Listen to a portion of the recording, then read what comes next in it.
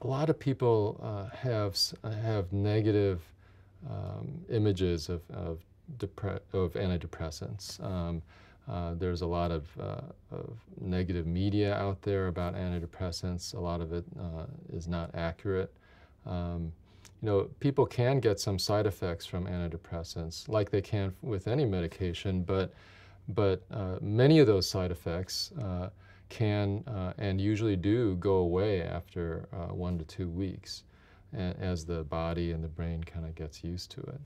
Um, but I think there's unfortunately still a stigma associated with taking an antidepressant, even though in the general population the, the rates of antidepressant use are uh, increasing over time.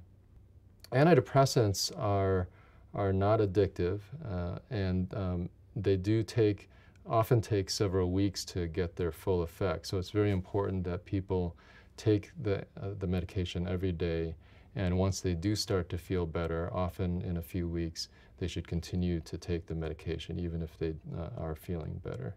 And what antidepressants do is they, they help to rebalance the, those natural chemicals in the brain uh, called neurotransmitters uh, to a more natural uh, state and, and by doing so uh, can help, uh, help their mood uh, get back to, um, back to normal.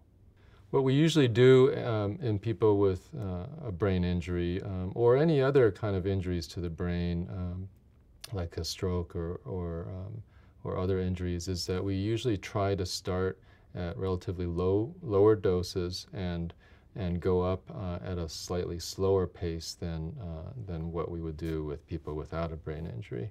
And when you do that, you know, what, what we would call start low, go slow, uh, people generally do tend to tolerate the medications pretty well. There are uh, a number of patients who would prefer not to take a, an antidepressant, uh, partly uh, because they're already on a lot of medications. Sometimes people who've had a brain injury are on um, pain medications, sometimes even seizure medications. So it's understandable that some people might not want to take another medication and would prefer uh, counseling, for example.